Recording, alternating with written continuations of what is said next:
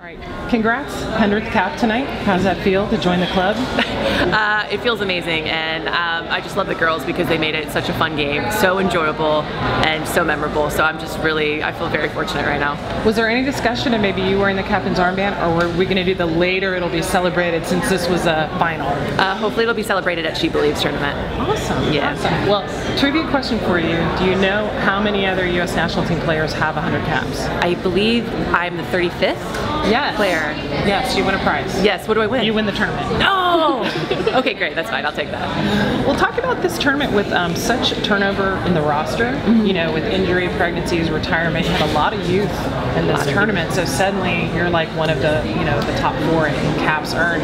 How do you take those younger players under your wing and, and say it's okay, we got this. It's a big tournament, but don't you know, it's chill, we got this. Well, it's great because a lot of the the younger players that came in have a lot of experience already, whether it be with youth national teams or professional. So they came in and they already kind of had a maturity about them, and really uh, the veteran players, it's really just kind of bringing them along and kind of showing them what our standards are and, and expectations and speed of play, and then they just kind of grabbed onto it, and every day they keep getting better and better. And I think you can see it with like a player like Crystal Dunn or a Mallory Pugh that every game they got better and better and made more and more an impact. So um, it's a credit to them for kind of embracing the culture and uh, being brave, and I think they, they played with a lot of courage.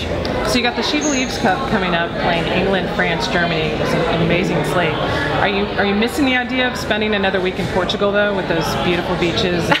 you know, the European vacation of every March. Yeah, I mean, I, I, actually really enjoy Algarve. It's a great, wonderful tournament. Always some wonderful teams there. But this is going to be a premier tournament, and we're going to have it for a few years now. And I think it's really going to be something special. That, that's going to be a, tense one. It's, it's every single game is going to be a world class potentially World Cup Olympic final caliber game.